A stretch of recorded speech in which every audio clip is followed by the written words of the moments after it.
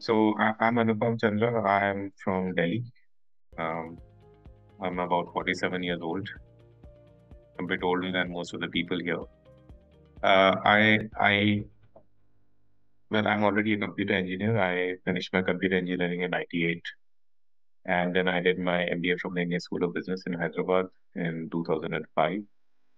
Prior to my uh, MBA, I was uh, working on the technology side, mainly coding, uh, IT consulting, and so on. And post 2005, I've been on the business side.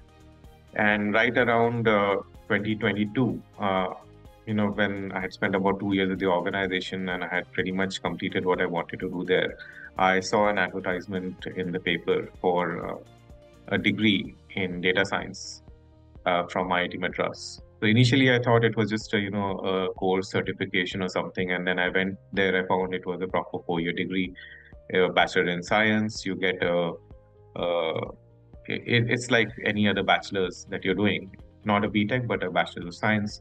Uh, it seemed interesting, and but then I was a bit apprehensive that you know this is IIT and will I be able to deliver? And then I thought, you know, what's the harm in trying out? Let's see where it goes. Uh, and I think that that fear really worked in my favor because I worked really, really, really hard initially to ramp up uh, to prepare for the qualifiers. And when I went into the qualifiers, I found that you know my hard work is paying off. I'm able to answer the questions. I'm able to understand the concepts. You know, concepts that I did not understand and when I was doing my engineering. They were now coming. Uh, you know, I was able to understand the better. The the lectures were great. The professors were uh, were excellent.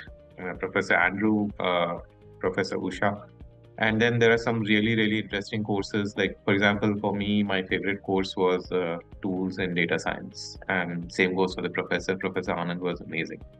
This was one course which I have been, again, I have written on this course many times and I'll say it again. This is one of the most important courses that I found in, uh, in the diploma, which actually tells me what my life would be if I was in a data science or a machine learning role. You know, being a teaching assistant being a research assistant, uh, going and working with professors. These are all amazing things that are only available via this degree, which are not available elsewhere. That's not what this degree is about, I feel. I mean, I, I feel that there's a lot more value that's being added. And then you have all these things that the program team is now trying, uh, you know, the PhDs, the masters, the MS, the MTech.